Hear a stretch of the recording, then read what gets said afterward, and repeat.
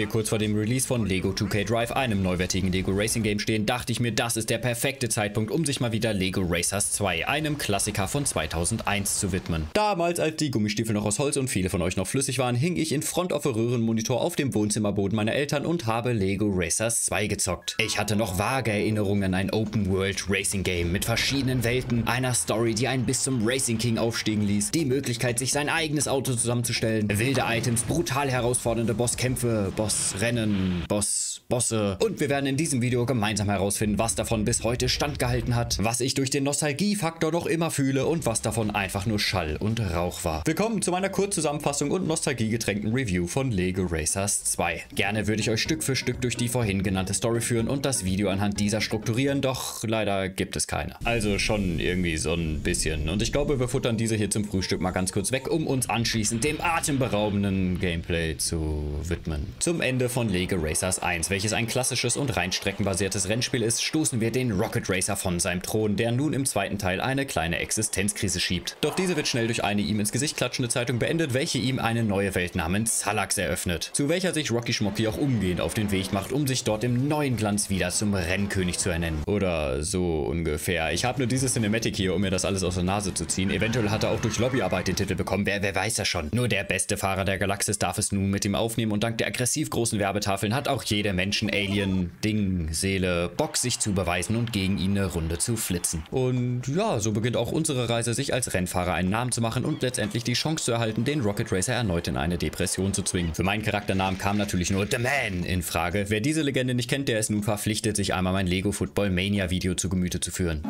am not a king, I am not a god, I am...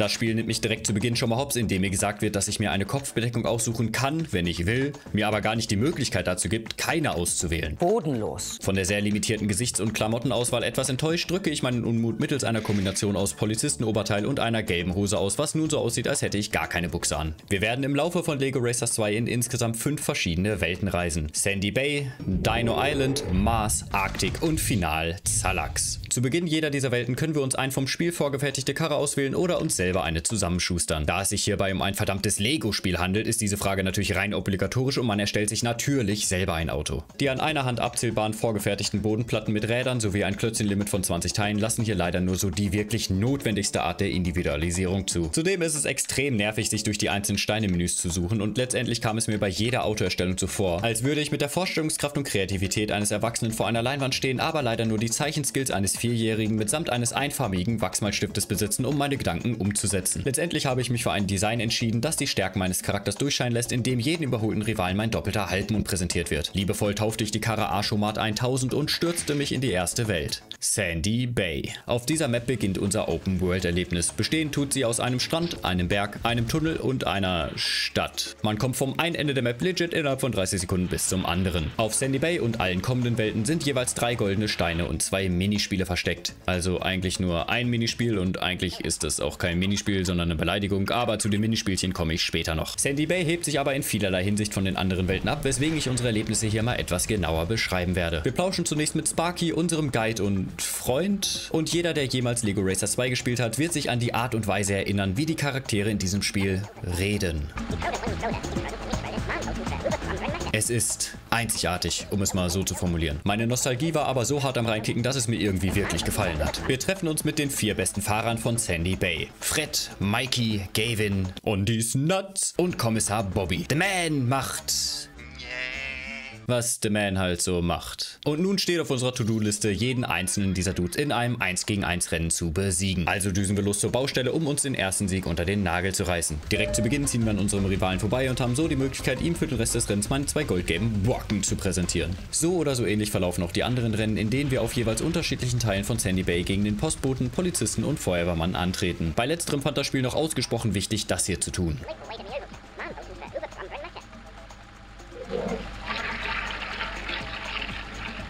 Ich weiß doch auch nicht, Leute. Ich weiß es doch auch nicht. Das Fahrgefühl selber ist ein Erlebnis. Sobald man auch nur einen Hauch zu stark in die Kurve geht, hört man direkt und driftet unkontrolliert durch die Gegend. Wie auch immer, da wir uns auf Sandy Bay behauptet haben, darf The Man mit einem Zeppelin nach Dino Island fliegen. Und ab hier wird dieses Open World Feeling bzw. Open Fußballfeld Feeling komplett gekippt. Wir werden nun immer in eine solche Lobby hier geworfen, von welcher aus wir die unterschiedlichen Rennen auswählen können. Zwar haben wir noch die Möglichkeit, die Erkundenoption bei Sparky auszuwählen. Warte, Sparky? Wie bist du hier hingekommen? Bin ich nach unserem herzzerreißenden Abschied nicht alleine ins Zeppelin gestiegen? Naja, also mit der Erkundenoption landen wir in der Open World und können hier ziellos umherdüsen, aber keine Rennen starten. Und auch sonst gibt es hier irgendwie nicht wirklich viel zu tun. Zwar finden die Rennen, was ich ganz cool finde, immer in derselben Welt statt und wir könnten in der Open World schon mal ein bisschen rumfahren und uns mit allem vertraut machen. Andererseits sind die Rennen, wenn man sich nicht mal versehentlich in den Abgrund déjà-vutet,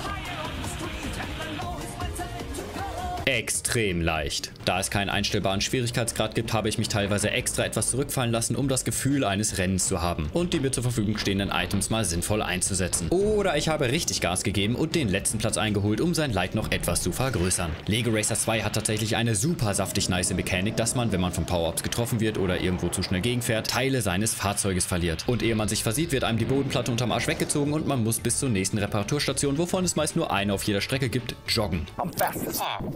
Hat auch nach 22 Jahren großen Spaß gemacht, seinen Konkurrenten den Begriff Autorennen etwas näher zu bringen.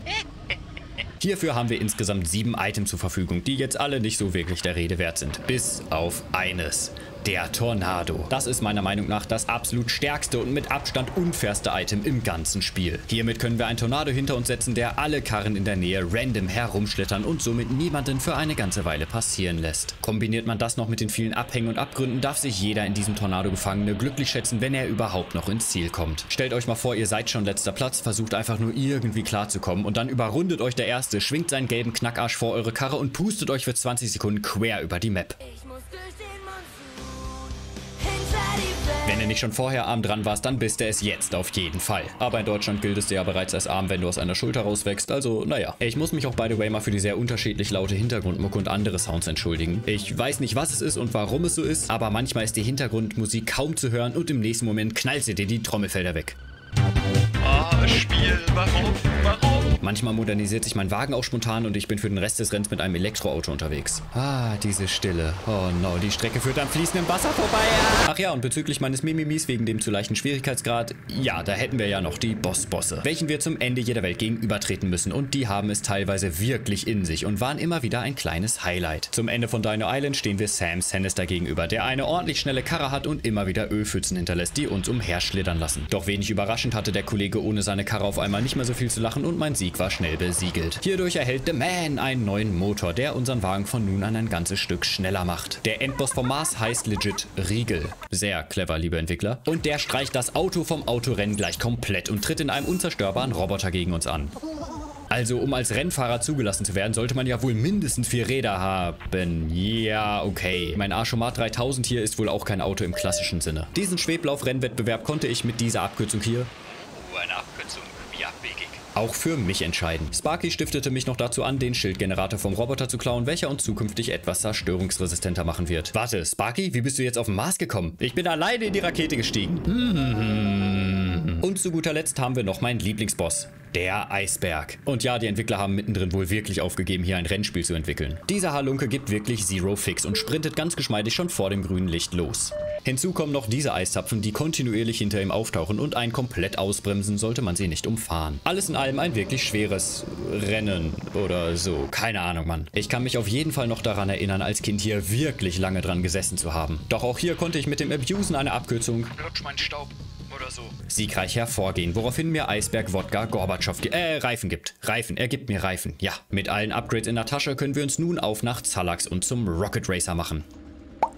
Doch da es zu Zalax und Rakete Pupete hier noch ein paar mehr Sachen zu sagen gibt, schieben wir erstmal die Minispiele vor. Ah, also, in der Open World jeder Map lassen sich jeweils zwei Tornados finden. Fährt man dort hinein, landet man in einem Minispiel. Diese sind immer gleich aufgebaut. Sammel X und bringe es innerhalb der angegebenen Zeit zu Y. Auf Sandy Bay müssen wir als Taxifahrer Personen umherfahren, auf Dino Island sammeln wir Fässer, auf dem Mars Kristalle, in der Arktik Wetterballons und auf Salax so Drohnendinger. Warte, waren das nicht die Kristalle vom Mars? Haben die faulen Säcker als Kristalle wirklich einfach die Drohnen Boden aus Salax genommen? Oder wurde hier vor Release einfach vergessen, eine PNG auszutauschen? Naja, diese Sammel- und Bringaktion müssen wir halt jeweils zweimal für jede Welt machen. Belohnt werden wir im Anschluss immer mit einem kleinen Upgrade, welches wir in die Haftung, Leistung oder Schildes unseres Arschomaten stecken können. So, auf nach Salax, der wohl mit Abstand geilsten Map. Nachdem ich meinen Arschomaten 5000 zusammengebastelt hatte, habe ich mich direkt in die Rennen geschwungen. Wir treten nun bei jedem Rennen gegen die Salax Racer an, bei denen der eine so aussieht wie der andere heißt. Und ich habe bei mir im Regal tatsächlich noch einen echten Salax Racer namens Puls herumstehen. Mag die Dinger irgendwie voll gerne, keine Ahnung. Aber abgesehen davon befinden wir uns hier nun auf richtig abgespaceden Rennstrecken. Mit Rampen, Loopings, Tunneln und einer etwas zu lauten Zuschauerschaft ringsherum. Ich habe diese Rennen so enjoyed und war richtig hyped darauf, was wohl das finale Rennen gegen den Rocket Racer so in pedo hat. Und Spoiler Alert, leider rein gar nichts. Das finale Rennen gegen Roger Rabbit bestreiten wir auf einer kreisförmigen Strecke, welche mit Rampen und Barrieren bestückt ist. Und Fun Fact, man ist durch den immensen Geschwindigkeitsverlust in der Luft tatsächlich schneller, wenn man die Rampen meidet. Also das einzig halbwegs Interessante an dieser Strecke sollte man, wenn man den zugegebenermaßen ordentlich flinken Rocket Racer besiegen will, nicht mal benutzen. Wow, man merkt hier förmlich, wie den Entwicklern zum Ende hin die Zeit ausgegangen ist. Stellt euch mal vor, wie insane es gewesen wäre, den Rocket Race auf einer Strecke entgegenzutreten, die uns mittels Portalen einmal durch alle Welten und deren wildesten Abschnitte führt. Aber nein, wir haben das hier. Mann, was war ich damals wie heute von diesem Rennen enttäuscht. Und einfach nur um meine Überlegenheit und Abneigung zum Ausdruck zu bringen, habe ich dieses finale Rennen mit dem Arsch voran beendet. Tja, da wären wir also. Der Man bekommt ganz zurecht vom Rocket Racer seinen Pokal überreicht. Hey, lass los! Das ist meiner! Hey! Unten am Podest erwarten uns noch unsere Freunde aus Sandy Bay, Fred, Mikey, Gavin, On These Nuts, Kommissar Bobby sowie Sparky und die Endgegner der anderen Welten, die uns allesamt nochmal gratulieren. Zurück in Sandy Bay genieße ich noch das Feuerwerk, welches in seiner Schönheit und Abwechslung die Reise bis hierher ganz gut widerspiegelt.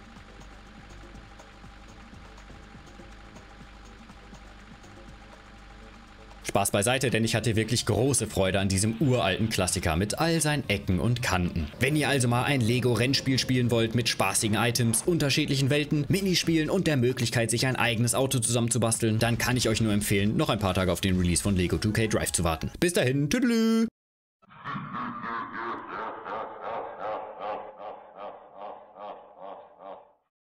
My life be like. Oh, ah, oh, ah, oh.